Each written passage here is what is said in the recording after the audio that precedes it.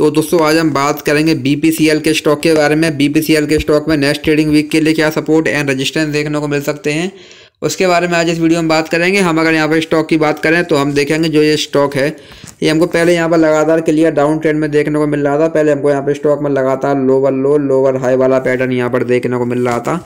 लेकिन फिर स्टॉक ने यहाँ पर सपोर्ट लिया, जिसके बाद से अभी अगेन हमको यहाँ पर स्टॉक में लगातार तेज़ी देखने को मिल रही है। अभी अगेन हमको यहाँ पर स्टॉक में हाइयर हाई हाइयर लो वाला पैटर्न यहाँ पर देखने को मिल रहा है। लेकिन आज हमको यहाँ पर स्टॉक में zero point nine zero percent की यहाँ पर गिरावट भी देखने को मिली है। तो यहाँ से अभी हम स्टॉक में बात करें, यहाँ से अगर स्टॉक में गिरावट कंटिन्यू रहती है तो यहाँ से भी और गिरावट की कंडीशन में हमारे पास यहाँ पर स्टॉक में फोर सिक्स सिक्स का पहला यहाँ पर सपोर्ट देखने को मिलेगा।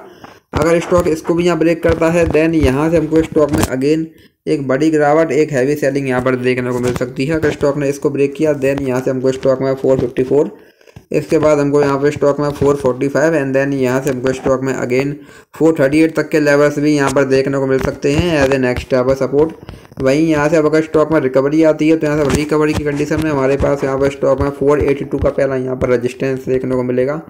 अगर स्टॉक इसको ब्रेक करेगा देन यहाँ से हमको स्टॉक में 492 इसके बाद हमको यहाँ पे स्टॉक में 502 और अगर स्टॉक ने इसको भी यहाँ ब्रेक किया देन यहाँ से हमको स्टॉक में अगेन 525 इसके बाद हमको यहाँ पे स्टॉक में 550 और 570 580 तक के लेवल्स भी यहाँ पर देखने को मिल सकते हैं एज ए नेक्स्ट यहाँ पर रजिस्टेंस तो स्टॉक में कुछ इंपॉर्टेंट लेवल्स हैं, आप इन पर ध्यान दे सकते हैं। बाकी वीडियो में कोई बाय सेल होल्डिंग सलाह नहीं है। वीडियो केवल एजुकेशनल पर्पज़ के लिए है। धन्यवाद।